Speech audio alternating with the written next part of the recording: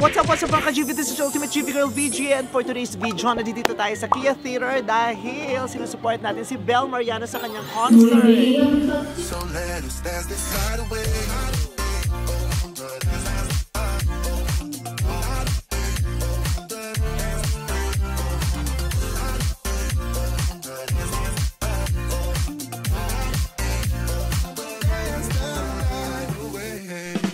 Kaya naman samahan niyo ako daling chichikahin natin si girl doon sa dressing room niya, chumikat at makipag-chismisan. Let's go! Hi! Thank you so much, Meme. Congratulations! Thank you. Ikaw ang inspiration ko sa concert. Wow!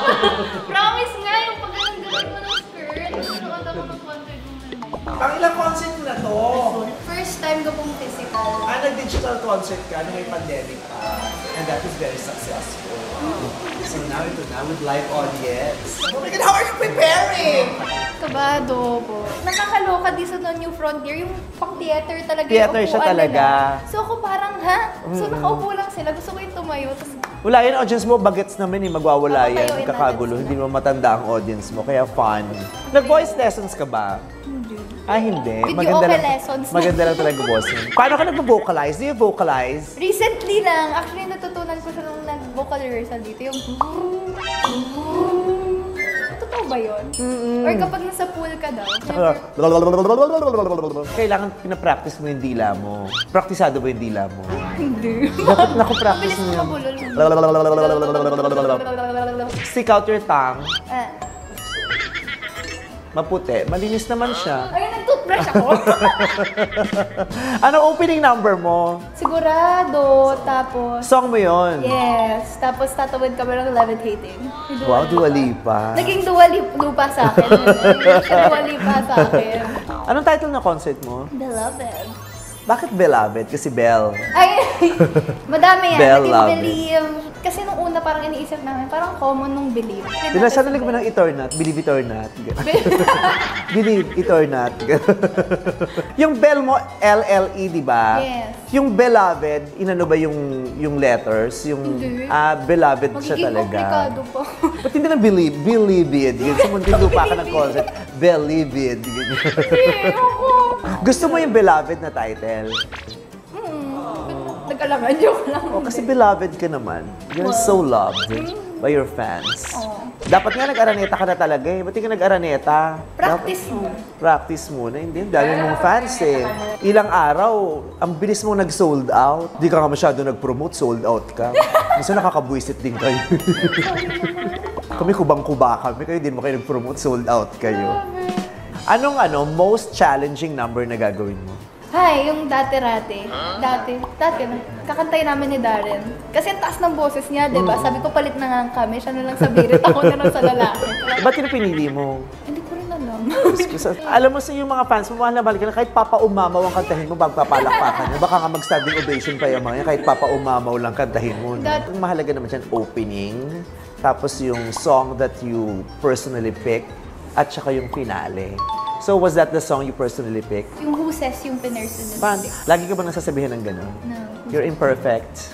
Tanggap ko namang imperfect ako. Ako hindi. Hindi ko talaga natalo. Pag, pag sinasabing imperfect, what? Are you blind? Wow! It's our imperfections that makes us perfect. Yeah. I think that's what I like, na parang we learn how to embrace our imperfections.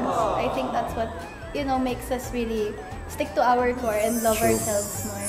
Ano yung imperfection mo na pinaka-proud kang natanggap mo yung imperfection na yun? Siguro body image.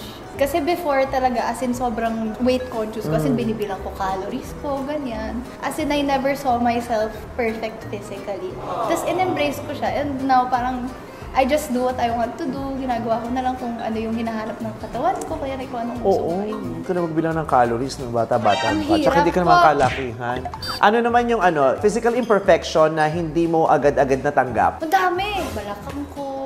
Parang Ang laki. sapat lang. Ang laki niya. Tapos sinasabi ko nga kay mama, ba't parang lahat ng, ng ayaw kong mapunta sa akin, napunta sa akin. Marami kang mga hinarap na imperfections about yourself. And now, you embrace them fully. Mm-mm. Like most especially, you know how noisy Twitter can get, social Yeah. media can get. Kapag sinasabi, ay, ang pangit ng buhok niya, ay, ang pangit ng ganyan. parang noise na lang yon if once na matanggap mo na yung sarili mo. Accepting your your imperfections is one, pero ibang bagay din yung ano, yung meron ka pang gustong i-improve, di ba? Yes. May ganun ka bang gusto kong i-improve? Yung posture ko. Bakit kubada ka ako, ba? sobra. Ginaganyan nga yun ng kapatid ko. Ano ba height mo? Maliit. 5'1". Pero 5'2 on a good day. ano yun? Umaangat yung tuhod mo sa mga piling araw? Naka-straight body. 5'2". May 5'2". Pero si Dolly ang tangkad, no? 6'1". 6'1". Hindi ako maliit, matangkad lang siya. Ano at first, hindi ka ilang kasi si Dolly ang tangkad, tapos ikaw maliit. No, ilang nung una. Actually, yun nga yung impression ko sa kanya, na-intimidate ako. Because of the Kasi height. Pero ang gwapo din ng 6'1 yung jowa, no? Para kayong ano, yung yung pinakasikat na cheerleader sa ano, sa, sa Alam mo- school tapos varsity yung sikat na varsity yung jowa. Maganda siya, pero hindi siya maganda pag ginagawa kang patungan. Bakit? Pag gaganyanin ka, kasi maliit, hindi mo ako pwedeng patungan. Actually, hindi lang, like, kunyari pag matatangkad kong friends, eh, tipong gaganyanin, okay, sige, maliit na ako, tanggap ko na. So, ngayon, sobrang lakas nyo talaga sa audience. Ano sa palagay mo, saan galing yun? Bakit ka nagkaroon ng ganun kadaming fans? Hindi ko rin siya ina-expect nun eh. Up to this day, hindi pa rin ako makapaniwala yung amount ng support na binibigay nila sa amin. Mas lalo na nung pumuto kayo, pandemic, no? Yes, kaya nga sabi ko, ha, paano nangyayari? As in, super, parang sabi ko, what did I do para ma-deserve to? Ganon. Tapos wala pa naman kayo talagang sariling show. Pumutok na kayo, tapos tsaka kayo nagkaroon ng sarili nyong projects together. Parang sinasabi ko na lang na siguro a flower has its time to bloom talaga. Ganun. Tara, binanatan niya tayo ng A Flower Has Its A. Time to Bloom. Ano ba? There's a, Taray. there's a rainbow after the rain. Meron Pero na- pangarap mo, kasi di ba artista ka na bata ka pa, and you were just enjoying then, di ba? Yes. Yung going bulilit. Or naisip mo na yung mag magkakaroon ka na maraming pera because of what you were doing. Yung isip ko nun, gusto kong tumapak sa stage ng Oscars. Hindi siya Ah, about... alam mo na yung Oscars, bata ka pala. Yes, nanonood ako noon. Ang dream ko up to now, sana makakakuha ko ng awards sa Oscars. Like, parang I won't settle for this. I Mm. would I will go for more. Ganon. Mayaman ka ba nung bata? Hindi, naku, hindi naman. Comfortable. Comfortable. Ganun tapat. Comfortable. Hindi mo pinopronounce yung R. Kailangan mo mumuo yung laway mo dito sa ganun. Comfortable. Ganun. Yung iba kasi, di ba, kaya sila nag-artista kasi yung iaahon nila yung pamilya nila sa hirap. Ano naman, um, enough to sustain our needs. Ang tali ng mga terms nila yun. Enough to sustain our needs. Kasi yung mga terms namin dati, yung makaraos, makaahon, Ay, grabe. di ba, makaangat mula sa laylayan. Happy child ka ba? Opo, nakapag ano ko, patentero, ganyan, pogs. Kasi may mga taong pagtanda nila, tsaka pa lang nila naiisip, na-realize na yung, sabi, everyone has an inner child, Yes. ba? Lahat tayo. So parang, you don't have to make your inner child happy anymore kasi masaya ka na. But now, are you happy? I am happy. I I I usually say nga, Bakit happy ang beshi ko? Bakit happy ang beshi ko? Kasi, joke lang. Nag-split. Parang sa akin, sabi ko nga po once na parang feeling ko na fulfill ko yung dreams ng five-year-old kid na yun. Na ever since, oh my gosh, pinangarap ko to. So yung mga times na parang napanghihina. Sino crush mo artista dati? Jericho Rosales. Ah, talaga? Up to now. Up to now. Gwapo niya. Bet ako nun, yung sa akin dati. Pero sa mga, sa ka-generation mo, feeling mo sinong cutest na actor? Siyempre, si Donnie yung pinakagwapo. Aside from Donnie, sino pinakagwapo sa tatlo for you? Inigo, Kyle, Darren. Grabe naman. Alam mo, baka iawayin ako ng tatlong yun pagkatapos. Sino ang favorite actress mo? Anne Hathaway. Oh, Or Meryl Streep. sinong actor? Leonardo. Da Vinci. Magaling talaga siyang artist eh. sa ano, Pinoy, Ate Kat. Bernardo. Ang galing niya, super. Mas lalo na yung parang in-announce na a very good girl. Sabi ko, oh my gosh, ibang iba. Actor, ang favorite actor. Actor. Bukod sa um, pinakagwapong si Jericho, ah. John Lloyd. John Lloyd. Sinong next? Dieter. Dieter. Ang dami mo nabanggit ng mga artistang Pinoy na magaga- pinam- magagaling para sa'yo. Sa palagi mo, anong naramdaman ko na hindi mo ako naisip? Grabe naman! Charot lang. Iyak ako dito. Charot. Charot lang. Pumunta tayo sa ano, chikahang jowaan. Nung panahon namin, ibang mga tawagan. Actually, inabot nyo pa yun yung mga be. Sa mga Gen Z, anong magandang tawagan pag jowa? Hindi ko lang, feeling Anong tawag mo kay, ano, kay ah, Donnie? Nato. Yun ang tawagan nyo. Think tawag niya sa akin. Tinkerbell. Kung ikaw magde-decide, anong magandang tawagan? Tall. Tol. Oo, parang cute. Tall. Parang sila Daniel, tinotol-tol niya si Catherine eh. Oo, ko, Oo. pero yun, cute siya. Tall. Sa bagay, tall naman siya. Tall. Ako small. Malambing ba yung mga Gen Z? Kasi sa pag nakikita ko, parang yung mga Gen Z, rampa, kiti-rampa, gimmick, kiti- kiti-gimmick. Parang ganun ang bandingan nila ng mga magjojowa. Hindi katulad dati, yung makikita sa library, tapos nagbabasa kami ng mga literary pieces. It's cute Literary pieces! Ang cute mo. parang yung mga Gen Z, parang wala nang ganun. Hindi ko alam eh, pero gusto ko yung, yung, ano, yung tipong maglalakad kayo sa garden, ganyan. Ganyan yung ideal ko. At saka, nangyari na ba sa'yo naman nagpadala sa'yo ng love letter? Ah, talaga? May nagaganap pang ganun ngayon sa panahon ng mga Gen Z. Yes, cute. Tapos sa stationery, ano, sinulat. Very, tas may envelope pang kasama. Oh, tapos yes. may, may amoy, yung mabango. Yes, actually perfume. Talaga. Tapos yung iba pa nga ginagawa, kahit yung, yung plate, yung pangkaraniwang papel lang, tapos yung susunugin yung gilid. Ay, kape. Alam ko kape yung... Kape. Parang, ano? Para magkaroon ng ano ng texture, Texture. yung ano mag brown brown. Yes. Oo, yung iba tae, nila nila. Yeah. Personal to galing talaga sa akin. Nabigyan ka na ng love letter. Yes. Nino, Before naman nung bata pa ako, binigyan ako ng love letter. Pero Donnie has, like, pag nag-shoot kami nung Love is Colorblind, nag-shoot siya ng letter sa ilalim ng door. Oh my God, that's so sweet! so sweet! Ano yung nakalagay sa first letter ni Donnie sa'yo? Parang may flower siya, tapos may letter na kasama. Tapos kasulat, I'm so proud of you, it's great. Gano'n kayo katagal nagligaw? Ah, grabe naman ikaw! Kasi nagpapadala kayo ng love letter eh. Iba yung letter from a friend. The letters coming from your friends are not considered love letters. Grabe! Pinagpapawisan ako dito! Matagal. Hindi ko alam. hindi ko masabi. If, ano, feeling ongoing pa rin. Hindi ko alam. Kinikilig ka pa rin pag pinag-usapan si Don. Kasi syempre matagal na eh, di ba? Mag-ilang, ang tagal nyo na magkasama kahit sa work halos araw-araw magkasama Yeah. kayo. Ano yung ginagawa sa'yo ni Donnie na parang hindi ka magsasama? Binibigyan niya ako ng pagkain. Sinusubukan ka? Hindi naman. Ah, kasi kaya ano, lalo kung barbecue, kasi gagawin sa Sarap nito. Mabigay ka, yung mabigay ka ng sulat, mad- madala ka ng pasalubong. Siguro, ganun ko rin minsan ina Pero hindi ako ano, hindi ako acts of service eh, yung ano ko, love language ko. Ano ko, words of affirmation. So, maano ako, sweet talker. You always say I love you to Don. Te, grabe naman!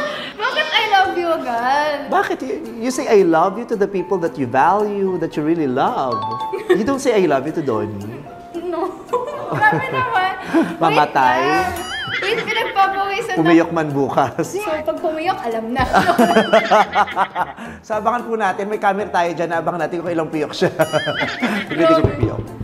Eh kasi di ba yun, ano, words of affirmation? Yes. Pero gusto mo ring ano, nasasabihan ka lagi ng I love you. Does he say I love you to you? Donnie, kung sumagot niya. okay. May na-receive ka ng ganun. Kahit sa letter, yung I love you, Belle. Ayoko pumiyok bukas, meme. Anong pinakagusto mong trait or ugali ni Donnie? Gentleman siya. Super. Pati ano siya, super selfless siya. And considerate. Yung Parang never niya pang hindi ako pinagbuksan ng pinto. Ah, Ganun. talaga. Pero napadaipid ka na niya. Hindi ba naman? Oh, kasi may mga nagbukas rin sa akin pero hinampas sa akin yung pinto. Anong favorite trait sa'yo ni Donnie sa palagay? Siguro yung pagiging makulit ko or pagiging adventurous ko, outgoing. Parang out of nowhere, biglang, uy, tara, hiking, or uy, tara, ganyan. Ay, nagaganon kayo. Yung ganon, super game ako sa ganon. Ganun ang mga trip niyo. Iba sila, no? Ilang taon na kayong mag-partner ni Donnie? Four years. Four years. Okay. In 10 years, would you still want to be in a love team with Donnie? Feeling ko by then, we'd still want to work with each other. Pero syempre, I would like to explore more. Gusto ko mag-direct, siya rin gusto niya mag-direct. Tsaka kung 21 ka na, 31 ka na. 31. For sure may mga ginagawa na kayong Baka kanya-kanya. nanay rules na nga ginagawa. Diba? Tsaka for sure bibigyan na kayo ng mga projects na iba na yung partner nyo. Yes. Diba? Open ka naman doon.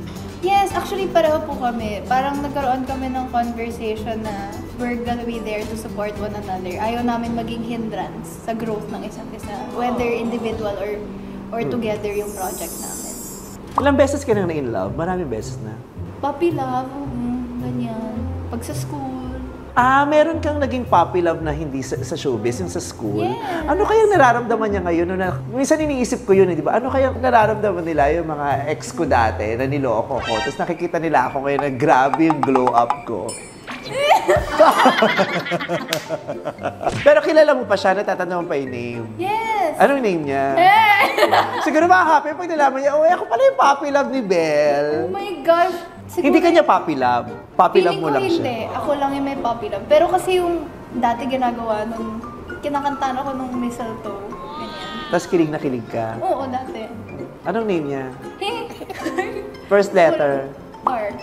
Si R. Tapos malalaman niya, ako palang puppy love dati ni ano. Huwag ka mag-assume. Sa dami na nakilala mong R dati. Ano bang pinali mo pala? Shut up and dance.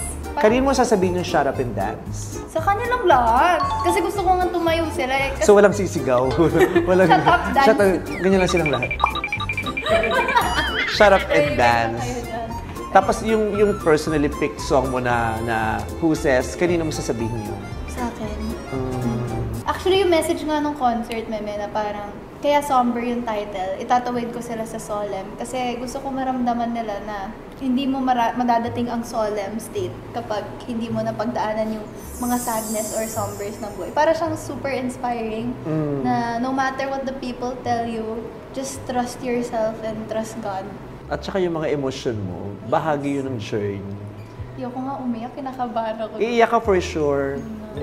Lalo na pag nakita mo walang masyadong nanood, iiyak Ay, talaga, Charot. Sold out ka na, no, pang iiyak mo. May kakantahin ka doon for sure na bigla kang may mararamdaman. yung rise siguro. Ano bang meaning ng song? Anong story niya? Kasi yun yung parang first kantang kinanta ko na super inspirational na I'm on the rise, right before their eyes. Para siyang believing in yourself, yung message niya. Tapos doon talaga ako maiiyak. Kasi more than me naman, ultimate goal ko talaga is mapabilib yung audience sa sarili nila. Yun nga yung gusto kong lesson na mabaon nila after kaya beloved yung title. Gusto ko love yung feeling nila after na lang mapanood yung buong concert. Parang kahit anong estado ng buhay mo, lahat ng tao, you still want to rise. Kahit nasa safe ka pang sitwasyon, you still want to rise. Kasi hindi naman tayo nakokontento eh. Lahat tayo gustong may iangat pa. Di ba? Lahat tayo may gustong iganda pa, yung itsura, sitwasyon, kondisyon ng buhay, nararamdaman. All of us still want to rise. Pag kinakanta mo yung rise, kung may isang tao ka lang na pagtingin mo sa audience, makikita mo siya agad. Sino yun? Siguro my sister or or my mom. In-expect ko lagi na yung ma- mom, yung parents. Pero Or si- bakit sister? Para kasi I can see myself sa kanya na I was just that girl who was dreaming of something this big to happen. And soon enough, when she turns my age, magiging ganun din siya. Ilang taon na ba siya? 16. Hmm. Yes. Kaya sabi ko, kung meron man akong isang tao na i-dedicate yung rice, gusto ko yung mga bata talaga na babae. Oo. Magkaroon ng dream Yes. and achieve those Mm-hmm. dreams. Opo. Sino yung isang taong sana hindi umabsent bukas sa panonood? Siguro si Donnie. Pag di siya pumunta, lagot ka sa akin. Joke lang. Mahalaga sa yung nandun si Donnie. Mm, of course. Mahalaga sa yung makita mo siya habang kumakanta. Yes, of course. Siyempre, yung support niya. Kung isang beses mo lang makikita si Donnie bukas, kailan mo siya gustong makita? Before you start the concert, while you are doing the concert, or after the concert?